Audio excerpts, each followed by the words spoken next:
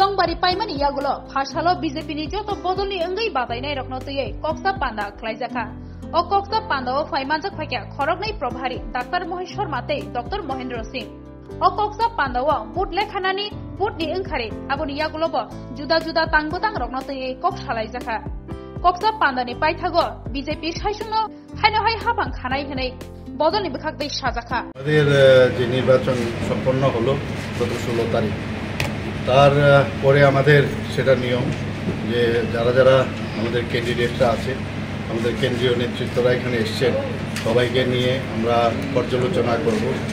এবং কোন কোন জায়গায়, কোনো জায়গায় আমাদের কোনো খামতি আছে কিনা বা কোনো জায়গায় নির্বাচনোত্তর সন্ত্রাস ত্রিপুরাতে আমরা দেখেছি যে বিরোধী দলের এবং তারা যখন আগে সরকারে ছিল, একটা নির্বাচনোত্তর সন্ত্রাস সর- সর্বদা হতো।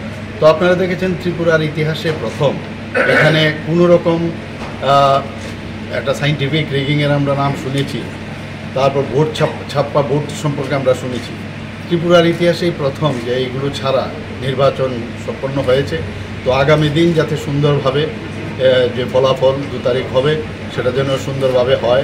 কোনো জায়গায় হামলা, অবজ্যোতি বা নির্বাচনোত্তর সন্ত্রাস যাতে না হয়, সেই বিষয়ে আজকে এখানে আলোচনা হবে।